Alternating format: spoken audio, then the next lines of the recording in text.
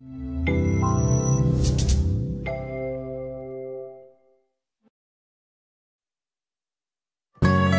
mouse embryo with six limbs.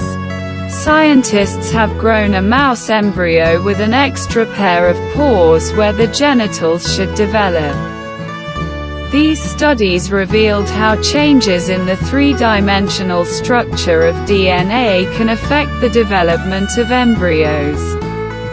Investigating how the spatial arrangement of DNA can influence embryonic development, scientists at the Gulbenkian Science Institute in Oeiras, Portugal, grew a mouse embryo with extra limbs where the genitals should be. But this was not a deliberate action of the researchers. The embryo developed unexpected structures after inactivating a gene responsible for the production of a protein important for the development of embryos. These studies can provide key information about the early stages of development. The description and results of the work were published in the journal, Nature Communications. Every organism begins as a tiny cluster of cells that gradually develops the structures it needs. This increase results from a complex network of instructions telling specific genes to turn on or off depending on their exact location in the body and stage of development. Over time, these instructions become more and more detailed. A team of scientists led by Moises Mallo studied TGFBR1, a receptor protein that is involved in many aspects of embryonic development. The researchers inactivated the gene responsible for producing the protein in mouse embryos that were about halfway through development to see how this change would affect the developing spinal cord. But it turned out that the changes go far beyond the spinal cord. One of the bioengineered embryos had two extra legs where his genitals should have been. This discovery took research on a completely different track. In most animals, both the external genitalia, penis or clitoris, and hind limbs develop from the same primary structures. When the researchers took a closer look at the six-legged mouse, they found that TGFBR1 directs these structures to become sex organs or limbs. It does this by changing the way DNA is arranged or folded in the cells of this structure. Inactivating the protein changed the activity of other genes, resulting in extra limbs rather than genitals. Our work reveals extraordinary tissue plasticity that may have potential consequences for the evolution of the hindlimb and genital area and identifies an additional mechanism of TGFBR1 activity that may also contribute to the control of other physiological or pathological processes, the study authors conclude. The team now plans to investigate whether TGFBR1 and its relatives can alter DNA structure in other systems, such as cancer, and whether they affect immune function. By deepening our knowledge on this topic, we may be able to obtain key information about the mechanisms behind various developmental diseases.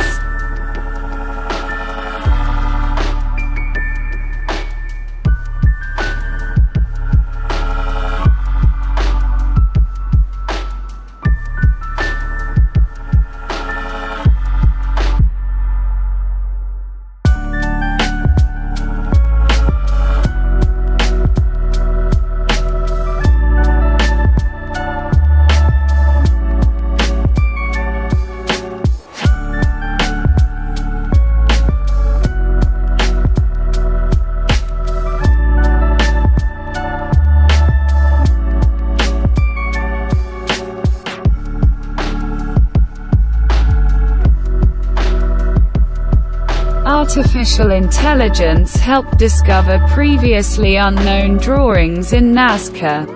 Three huge, previously unknown geoglyphs have been identified on the Nazca Plateau. They represent a pair of legs measuring 78 meters, a fish measuring 19 meters and a bird measuring 17 meters. Artificial intelligence algorithms helped scientists in their search. The research was carried out by a team from IBM Japan and Yamagata University, which used deep learning algorithms in the search.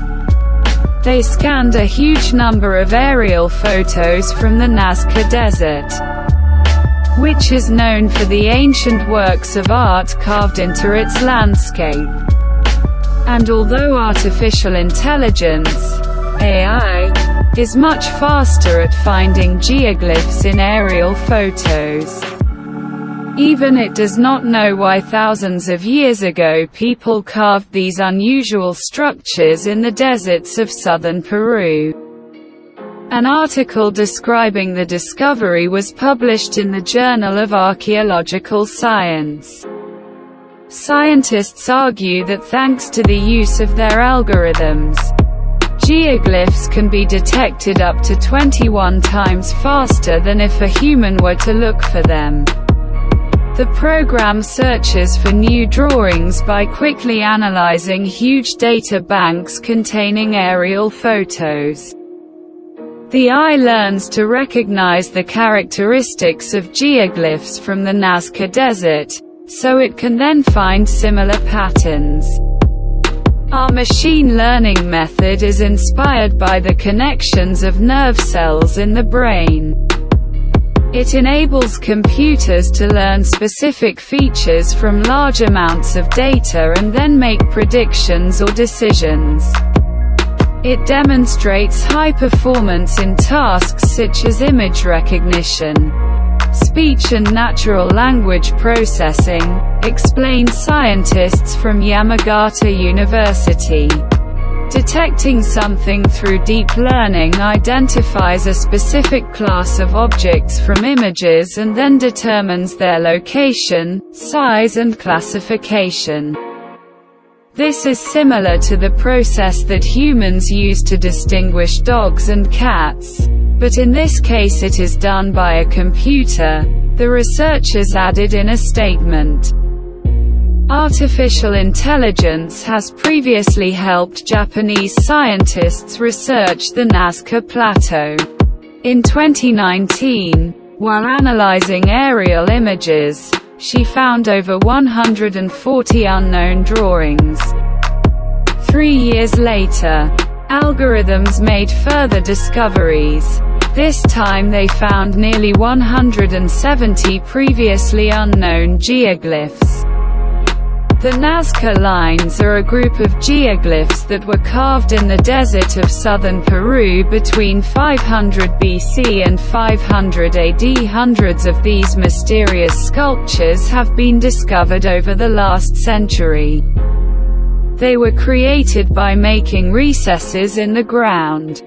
Their builders removed the top layer of reddish, iron-rich dirt, exposing the lighter subsoil. Geoglyph creators often used natural motifs such as people, animals, fish, birds, insects, lizards, dogs, cats, monkeys, and plants, trees and flowers. Among the Nazca lines you can also find more mysterious images, depicting humanoid monsters with two faces and giant two-headed snakes eating people. There are also various geometric figures. There is much speculation as to why people put so much effort into creating these giant sculptures. Especially since they are only fully visible from the air. Some researchers theorize that they may have aided in travel or had some astronomical significance. There is also a group of researchers who believe that geoglyphs were works of art made for the deities in the heavens. For now, the answer to the question about the reasons for making these gigantic sculptures remains unknown.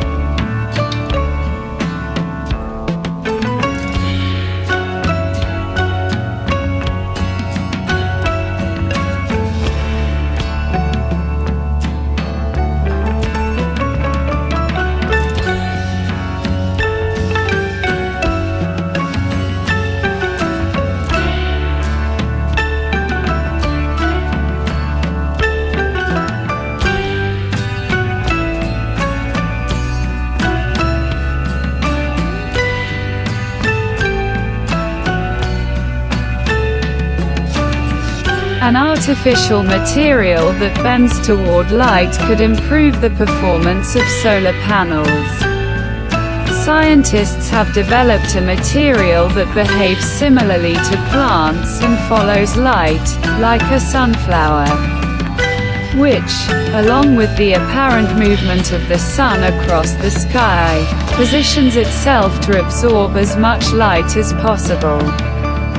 Sunbot, as scientists have named the technology, can significantly improve the performance of solar panels. A team of scientists from the University of California, Los Angeles and Arizona State University have developed a material that imitates plants and their tilt towards the incident light. This behavior is called phototropism and means that plants grow in the direction of the incident light.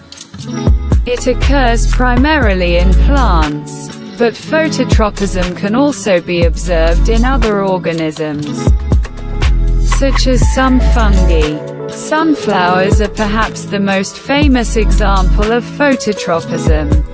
Scientists have developed a similar technology, they called it Sunbot. Sunflower-like biomimetic omnidirectional tracker. They created a polymer material that tilts towards the light source without any other factors.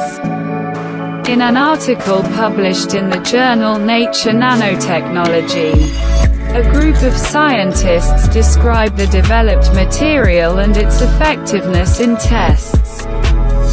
Sunbot is the first artificial material capable of phototropism. The cylinder-like shoots of material can maneuver to capture about 90% of available sunlight, even when the sun hits different angles. Ximin He of the University of California, Los Angeles, UCLA, and her team say the technology could one day be used to optimize solar panels, desalinate water or move robots. There were early attempts to create a synthetic material that would imitate the behavior of sunflowers in chasing sunlight. But nothing has been created that even resembles Sunbot's abilities. This material is capable of self-regulating, positioning itself in the optimal position needed to absorb as much sunlight as possible, and then making small adjustments to track the sun's apparent movement across the sky. Synthetic stems that tilt toward the light source provide a moving platform that could dramatically improve the efficiency of a range of solar technologies. In their work, the researchers looked at gels and polymers that respond predictably to light or heat. Several different materials were selected as candidates worth further investigation including a hydrogel containing gold nanoparticles, a tangle of light-sensitive polymers, and a type of liquid crystal elastomer embedded in a light-absorbing dye. Sunbot's ability to follow light comes from the properties of these materials. The artificial sunflower stem is composed of polymers with a diameter of approximately 1 millimeter. It was embedded in a nanomaterial that reacts to light. The nanomaterial absorbs light and turns it into heat, and the polymer contracts in response to the increased temperature. During the tests, when the researchers aimed a beam of light at one of the artificial stems, the illuminated side heated up and contracted. This caused the top of the artificial stem to tilt towards the light. In turn, the shaded underside of the stem cooled, stopping the sunbot's movement in a position best oriented to absorb light. The process repeats as the angle of the light beam changes. Tests with other materials, such as carbon black nanoparticles and liquid crystal polymers, have shown that the ingredients can be mixed and matched to work in different environments and for different applications.